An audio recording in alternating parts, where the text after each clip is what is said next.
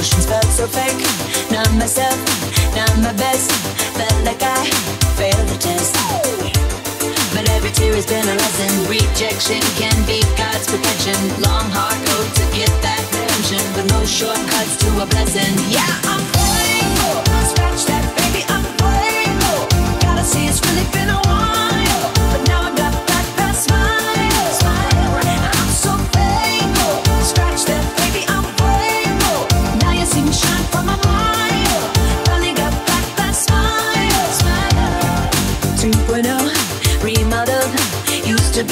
be tall, sparkle.